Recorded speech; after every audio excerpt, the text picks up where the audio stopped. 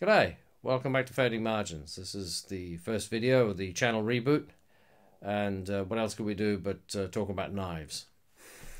Um, that sounds rather precarious in the current climate, but never mind. We know, we all know what we're talking about. Um, anyway, I thought you guys might be interested to see, after six months or so, how my traditional EDC, I'll do a separate video for Victorinox. Um, now my pocket EDC has changed. I'm not going to talk about any of the other stuff I carry every on a day-to-day basis. Just the traditional pocket knives, and I've got 14, I think, to show you because I have a um, a team of 14 knives that uh, flow in and out of my pocket depending on my mood, um, my mindset, what I've been watching on telly, what I've been reading in books. Right, uh, so let's get started. We'll start um, with this one. This is the Arthur Wright and Sons Farmer. This has uh, stayed uh, true. It remains uh, a serviceable, solid, dependable, rugged cutting tool. Um, C70 carbon steel, uh, brass liners and bolsters. Uh, well made, really good backspring. Fabulous, uh, really almost perfect backspring. Um, Really like this knife. Don't carry it as much as I might, but definitely a keeper. This is the uh, Arthur Wright and Sons Tackler. This too is stayed, slightly uh, different blade, modified sheep's foot if you like, or heading towards a more of a Wharncliffe style. Um, these days, Wharncliffe is very uh, bijou. It's very, uh, very chic, a bit Gucci, as they might say, and uh, so they, people tend to call anything uh, this sort of shape, a, a sort of Wharncliffe bait. It's not really, it's more of a modified sheep's foot. But uh, I like this knife very much. Again, it's a keeper, rosewood handles, same deal with the steel and everything else. Pull on this is horrendous. It's really, well, it's not horrendous, but it's it's not as bad as that GEC I once had. Uh, but it's, um, you do need to use the nail nick. You can't just uh, flatter your thumb it. Um, but yeah, it's definitely a key, it was definitely definitely proved to be a keeper. In fact, all four of my Arthur Wright and Sons ended up being keepers. And I want to say, from the off, I've um, I, I had a, as you know, I had a dose of COVID, and I'm more or less recovered. My fitness hasn't come back. Um, not there was much fitness before COVID, but it's even worse now.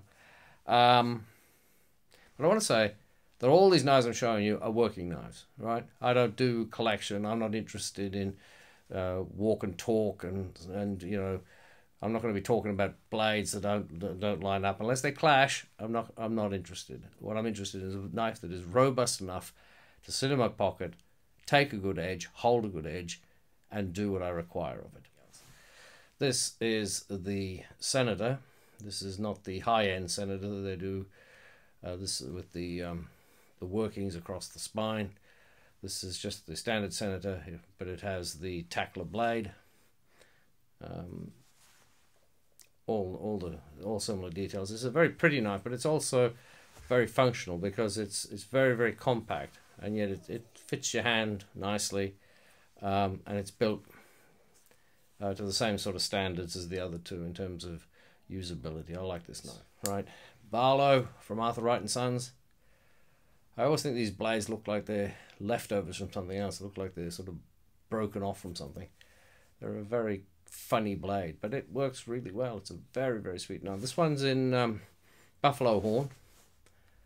Um, there seems to be a, a shortage of materials everywhere. I don't understand why. I don't know what people are doing. They're supposed to be running the world, and they can, you can't get simple materials. It's bizarre. But anyway, um, I was looking at Arthur Wright's the other day and they don't seem to be offering buffalo horn. I'm going to get in touch with them directly and find out. Um, well, that's a very sweet knife. I carry that. It does everything I would want of it. It's mostly food preparation, really. Um, you know, cutting open the odd carton and stuff like that, but I'm not breaking down tons and tons of boxes, or, uh, and I don't make spoons and things like that. I might do in the future. You know, I'm, I'm open to the possibility, but it's not really my thing at the moment. So, um, if you haven't got one of these, Every man should have one of these, uh, unless you just really hate the pattern. let's start with the uh, the Sodbuster Junior in yellow. Uh, you'll see a theme very quickly. I don't need to introduce this knife. Um, again, it's a bit like that Barlow. If you haven't got one of these, well, why not? I mean, they make them all the time. It's uh, uh, what they call their CV steel, which is a 1095 hybrid steel. I don't know. They they do something with it, blend or something they call it. Takes a nice edge. All their all their blades are kind of you can just about see that they're the sort of hollow ground. Um, I like a hollow ground like a buck. You know, big bucks. I like buck knives. Um, I like hollow ground on those because you get you lose a lot of weight, but you, you gain you can you have a very you get a very strong spine uh, and a very fine edge. Uh, with the pocket knives, I think I'd just I prefer a flat ground with a secondary bevel, but no complaints. You can get a good edge on it, and this is a very sweet knife. Um, moving on, we've got the mini trapper in Wharncliffe. You see what I'm saying? Um, that's not a an Ettrick uh, like Arthur and Ma- Arthur makes. I don't actually own an Arthur Ettrick. Maybe I should remedy that, but I just don't fancy it. I don't know what I'd do with it. Um, but uh, yeah, so you've got what they call a Wharncliffe, and then you've got a California clip or um, Turkish clip, depending on how you want to, how you want to term it. Uh, this is in stainless steel. I've said before, and I'll say it again. I'm not a fan of Case's stainless steel. I don't know what it is.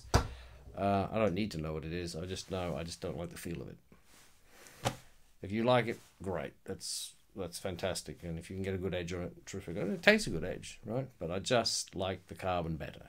Um, call me prejudice. Um, just quickly, my mate Justin over at Horsepen Ranch was flashing around one of these the other day, uh, and um, being slightly weak-minded, um, perhaps just in that moment, I thought, yeah, that looks very pretty. I had a look, uh, and I took the plunge. So this is the case uh, Sodbuster Junior in um, I don't know some sort of red jigged bone. It's very very pretty. Not quite as comfy in the hand. If you if you're cutting feather sticks uh, with it, I found that cutting feather sticks with this um, did not compare to cutting anything with this. Uh, but for general purpose, everything else, you won't notice the difference, and it's very pretty. Um, the I was going to say mini trap um, Stockman. This is not a mini Stockman. This is a medium Stockman. This is a very petite knife. So you've got here. You've got a spade blade. Uh, that's the that's that's my thumb knuckle. So it's very very small.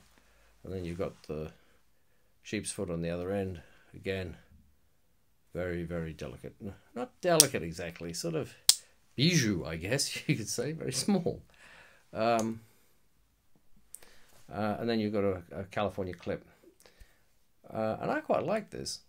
Uh, I don't know why. Uh, I like it because it's small, I guess. It's, it's very fine. Uh, it takes a wicked edge. Um, presumably because the hollow grind doesn't got so much to hollow out. Um, so not as much distance from here to there, but it's you'd be surprised what you can cut with that. I mean, I wouldn't. I don't know that I'd be cutting feather sticks with it, but in terms of you know, getting into joints and things, and I and I use my pocket knives for for cleaning joints. I don't shoot. Um, well, I would shoot, but I live in the UK. Go figure, right? But it's um,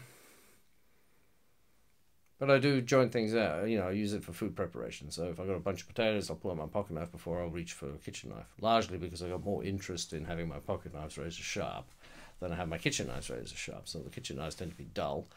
So I want a sharp knife. So the sharpest knife is the one in my pocket. Um, but that works really well. It's small. It's inoffensive. Um, you can see it's not even as long as my my index finger.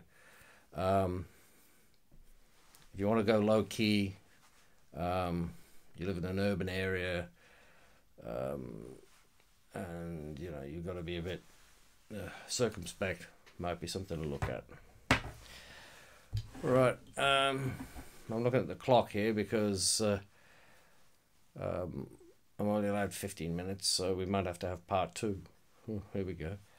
Right, this is the sow belly from Case, and as you can see, this is definitely a theme. It's the uh, I've got a thing for the the yellow scales. Well, I've got a thing for the CV steel, is what it is. And I've also got a thing about not spending. You know, there's a lot of money here, but uh, over time. But I don't like. I think for something like that, I can't remember what I paid for it, but I'm not going to pay eighty quid for it. Put it that way. Um, so and I think bone um, when case gets into jig bone and all their different scales, types, and it all gets very collectorish. It's not my thing, and it's too expensive. If they did them all in a plain bone, I'd you know I'd be very happy, but they don't. Anyway, this is the sow belly. Bought this on a whim last year, as you know. Um, there's absolutely nothing wrong with it other than I find it a bit thin Lots of people like thin knives. Um, I just got to think about how, closing my fist over it. I know some people say, you know, with a slip joint, you don't your finger up there. I'm telling you now, in my opinion, you have your finger up there, you're really asking uh, for a very good cut along that joint line because you, at some point your hand's going to slip forward, your finger, that finger's going to slip forward. It's not about it snapping shut because you should be cutting away from yourself anyway. Um, pretty knife. I do like it. It is a keeper. Doesn't get as much pocket action uh, for the reasons I've mentioned. Okay, so we're on to the case um, muskrat. I think Case make the best muskrats. Sorry guys, that's my opinion, and I think this is uh, the best because it's it's the carbon steel, and it's a reasonable price. Two blades. I've run this as an EDC. Works fine. Works really well. You just uh, you just, what I did was I decided that uh, I think it was the one with the on the side of the badge was my everyday use for cutting up boxes and making you know basically making a mess whatever I was doing and this one was for food preparation. Uh, so I used this one for my lunch and this one for opening my mail or whatever I was doing, cutting rope. Um, I was put on, put on to, switched on to uh, muskrats by the, the, now late gentleman from Abnormal Outdoors. His video channel is still up. Uh, some of his stuff is excellent and worth watching, and uh, um, a lot of us very much regret his passing. But that's the case. Uh, muskrat in CV steel. Um, that's a nice little knife. Finally, um, not is this the latest acquisition? Yes, I think this is in, by type. It is. This is the signature knife for case. Also in CV, also in yellow handle. This is the case trapper, the full size case trapper, and I have measured this knife and measured this knife, and it is on both these blades, despite their, seemingly enormous scale, are three inches cutting edge. You could have a row, if, you know, but um, they're just very large, but they are. It is you. It, by my measuring and my understanding, it's UK legal. Um, I I don't know. I bought one because I thought I should have one. It doesn't get a lot of pocket carry, um, but it's not going anywhere. Put it that way. Uh, and those blades, um, really, really useful.